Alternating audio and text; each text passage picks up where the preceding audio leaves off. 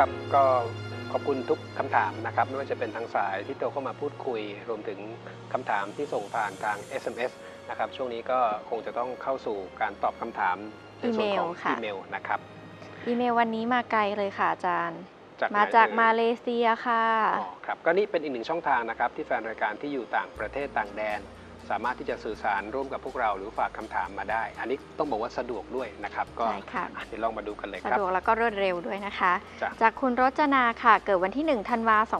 2536 นะคะ เวลา 21นาฬิกาค่ะ ตรงกับวันพุธถูกต้องไหมคะหนึ่งธันวาสามหกใช่ค่ะยี่สิบเอ็ดนาฬิกาพุธกลางคืนครับ ค่ะเอ่อดูดวงโชคลาภการงานนะคะ ที่ทำงานจะได้ขึ้นตำแหน่งไหมทำงานโรงงานค่ะ แม่ความจริงปีนี้กรรมะเป็นสีอะนะกรรมะเป็นสีก็ต้องถือว่ามีโอกาสเจริญเติบโตในสิ่งที่ท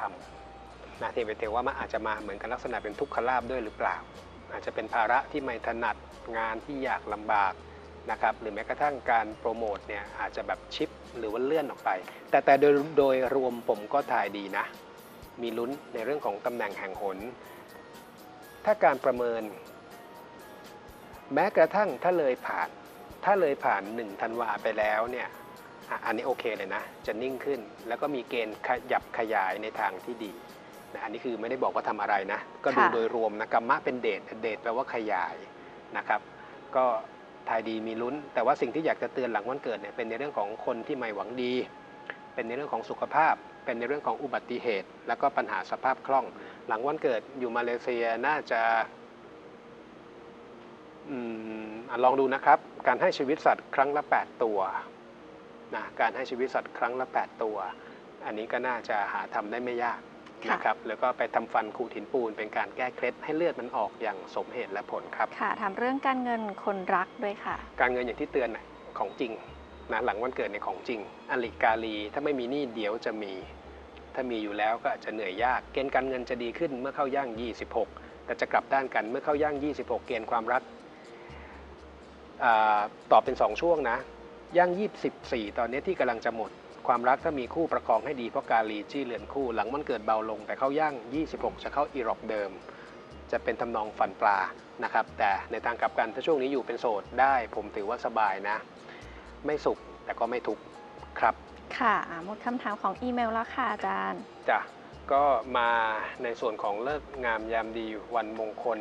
นะครับที่เราจะนำมาฝากกันทั้งช่วงปลายเดือนนี้คาบเกี่ยวกับช่วงครึ่งแรกของเดือนพฤศจิกายนครับ ตุลาคมเหลือวันเดียวปลายเดือนนี้ครับกับวันที่ 29 ตุลาคมนะครับก็สามารถประกอบการมงคลได้ เพียงแต่ว่าควรจะหลีกเลี่ยงการออกรถ วันที่ 29 นี่ตรงกับวันอาทิตย์นะครับช่วงเวลาที่ดีที่สุดก็คือ 13 นาฬิกา 31 นาทีถึง 14 นาฬิกาแต่คนที่เกิดวันจันทร์ควรจะหลีกเลี่ยงการใช้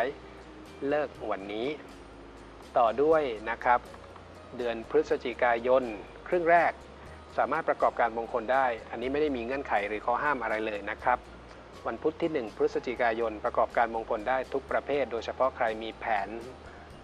มั่นหมายแต่งงานพวกนี้ดีนะครับ เพราะเลิกล่างเป็นดิถีเรียงหมอน 16 นาฬิกา 1 นาทีถึง 16 นาฬิกา 30 นาทีคือช่วงเวลาที่ดีที่สุด เป็นแต่ว่าคนที่เกิดวันเสาร์ควรจะหลีกเลี่ยงการใช้เลิกวันนี้ ต่อด้วยศุกร์ที่ 3 พฤศจิกายนครับ เลิกล่างมีดิถีกลางๆ อย่างวันปลอด คือปลอดทั้งดีและไม่ดี ก็สามารถประกอบการมงคลได้เช่นเดียวกัน 12 นาฬิกา 1 นาทีถึง 12 นาฬิกา 30 นาทีดีที่สุด แต่คนที่เกิดวันอาทิตย์ควรจะหลีกเลี่ยงการใช้เลิกวันนี้ครับ ต่อในช่วงกลางเดือนอังคารที่ 14 พฤศจิกายน วันนี้เลิกล่างมีดิถีที่ดีเยี่ยม เพราะเป็นทั้งวันชัยโชคและวันลอยนะครับ มีโชคมีชัย วันลอยประกอบการมงคลอะไรก็จะสะดวกรวดเร็วไม่ติดขัด และทางกลโยกก็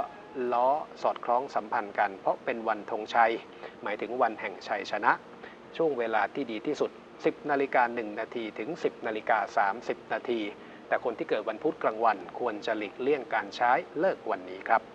ค่ะนะสุดท้ายนี้นะคะ ขออัญเชิญพระบรมราโชวาทของในหลวงรัชกาลที่ 9 ค่ะ ให้พวกเราได้น้อมนำไปปฏิบัติ ผู้ที่จะรักษาความเป็นไทยได้มั่นคงที่สุด